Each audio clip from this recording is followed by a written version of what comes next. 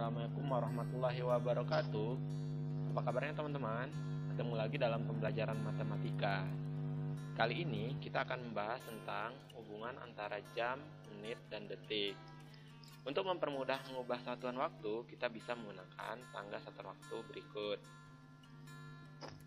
Jam lebih tinggi dari menit dan lebih tinggi dari detik kedudukannya.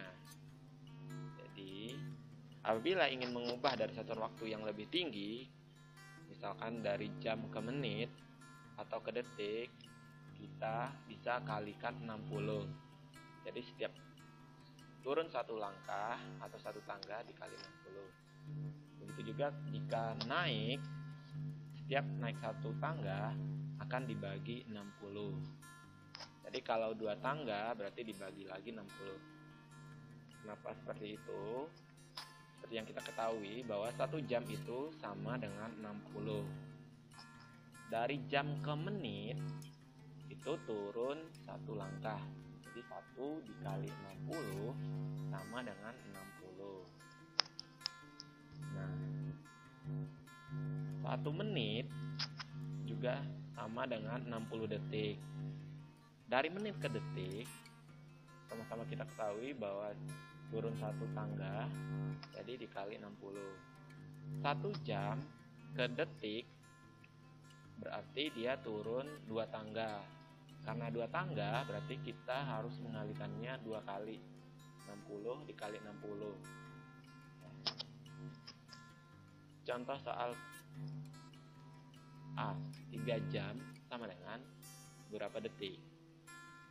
Dari jam ke detik kita lihat tangga tadi turun dua tangga. Jadi bisa dua cara ya teman-teman untuk e, menyelesaikannya. Cara pertama adalah turun satu langkah dulu dikali 60 jadi 3 dikali 60 sama dengan 180 menit. Turun lagi satu e, tangga lagi dikali 60 jadi 180 dikali 60 sama dengan 10800 itu kalau menggunakan anak tangga.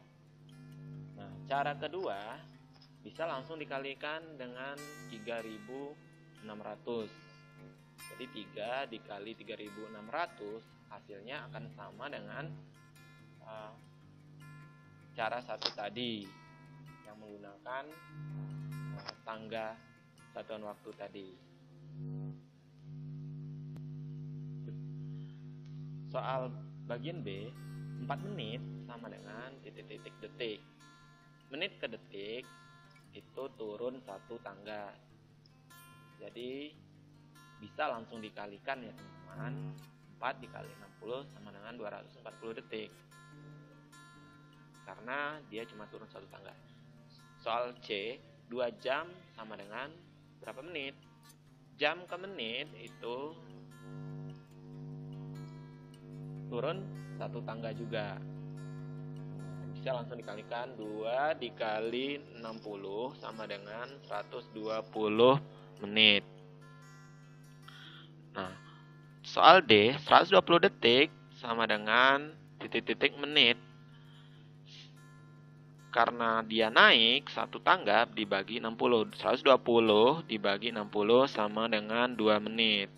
Soal E 60 menit berapa jam? Menit ke jam juga naik satu ting satu anak tangga. Jadi langsung dibagi 60. 60 bagi 60 sama dengan satu jam.